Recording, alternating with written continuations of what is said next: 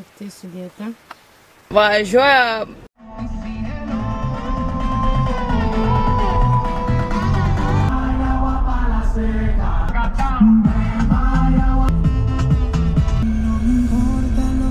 Atvariau prie tapelių, ieškau vietos pasistatyti hamaką ir palapinę. Ir iškelti diskusiją, kuri jau vyksta gan ilgą laiką mano galvoje, tačiau man vis tiek reikia priimti sprendimą, ką pirkti, ko man reikės. Tai ieškau vietelės, kur galėčiau įsikurti. Tarp šitų dviejų medžių galima būtų pastatyti dabar hamaką, manau, ir čia šalt palapinę. Gal kažkaip taip. Kėdutę pasiėmiau, kaip ponas sėdėsiu.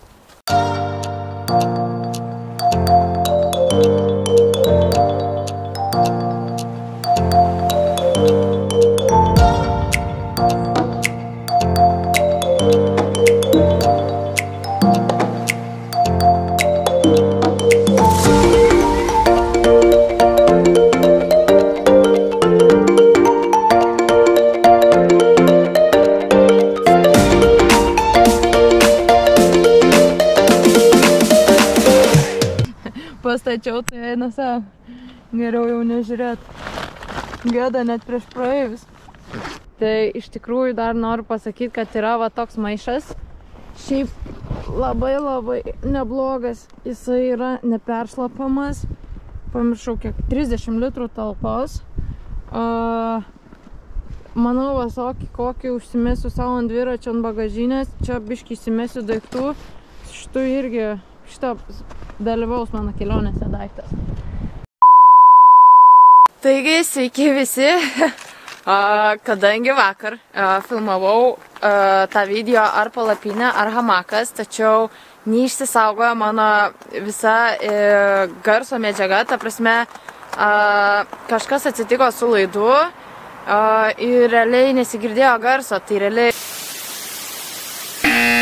aš atvariau prie čia ir beidama aplinkui tiesiog stengsiuos kai ką papasakot, e, ką vakar sakiau, tiesiog šį kartą viskas su garsu, jau kaip ir garsą susitvarkiau.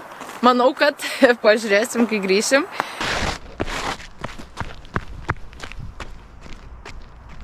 Tokį žygį reikėjo imti pačiūžas. Tai va, kas liečia realiai hamaką ar palapinę, Aš pradžio galvojau pirkti palapinę, bet vienvietę, kadangi turiu ten dvi vietę, tri vietę, tokia didelė jinai, kur matėt video, bet jos tikrai neimsiu su savimi, jinai ir daug sveria ir jinai nėra patogi ir tokia uh, greit susirinkanti.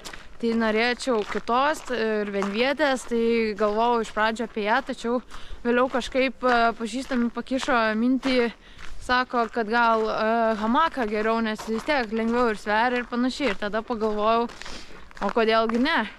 Bet skirtumas tas, kad palapinėje aš jau esu buvus ir realiai nakvojus ir viskas aišku su ją, o hamakė ne. Tai reikėjo išbandyti hamaką. Bet irgi čia tokie dalykai, kad aš, pavyzdžiui, miego ant pilvo ir hamakas, nežinau, kaip aš ten mėgočiau, neįsivaizduoju.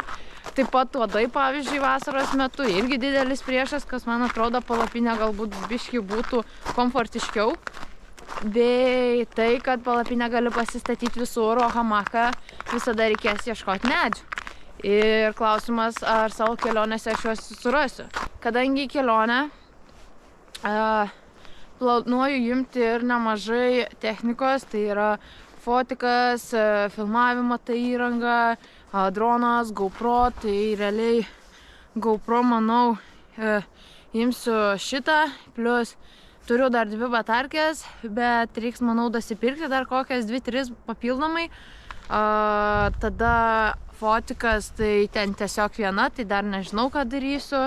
Drono turiu dvi baterijas, tai turbūt dar reikės a, irgi nusipirkti kokias dvi, kadangi viena drono baterija 30 minučių laiko tai man irgi gali pritrūkti to laiko filmuoti. Tai bent jau su tokia technika turėčiau nepražūt. Taip pat, aišku, reikės susižiūrėti visus powerbankus irgi ir visas atminties korteles, kas irgi yra svarbu. Labai laukia daug testavimų. Iš tikrųjų, tiek su dviračiu, tiek su svoriu, su ta įranga ir visą tą darysiu visą pavasarį, manau, e, kiek išeis, kiek spėsim. Tai va, tai man tikrai yra aktualus dalykas ir svarbiausias dalykas ant dviračio yra svoris. Tai o šiaip jau dviratukas bus pas mane kitą uh, mėnesį, manau. Šį mėnesį nežinau dar ar jį turėsiu. Tada iškart sėsiu ir testuosiu, kaip ką. Dar ten daug yra klausimų, kuriuos turiu išspręsti. Tai apie tai vėliau turbūt. Laukiu iš tikrųjų labai naujo dviratuko. Noriu jau pasižiūrėti, kaip seksis prie jo ir priprast. Vėl senis besmegenis. Koks kepuriukas.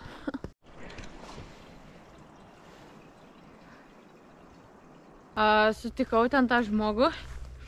Tai jisai sakė, kad jam užtenka dviem savaitėm to vandens.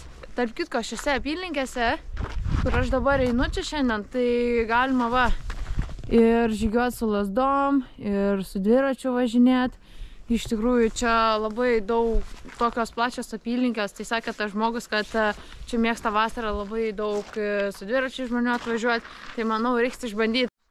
Tai va čia pavyzdžiui yra tas žemėlapis, tai jeigu atvaryt, aš atvariau čia ir dabar taip ėjau ir va čia. Dabar dar taip eisiu. Bet pavyzdžiui, vasarą galima tikrai išnaršyti ir čia apylinkės ir pavyzdžiui čia persikelti per upę. Nu va, dar prie vieno objektėlio atėjau. Opa. O. Dar netrūksta.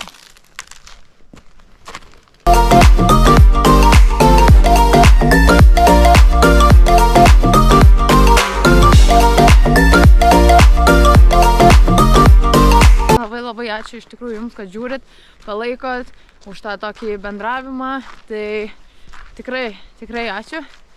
Ir prenumeruokit, spauskit like. Tikiuosi patiks Jums mano šitas blogelis ir iki kito karto. Pirksiu palapinę.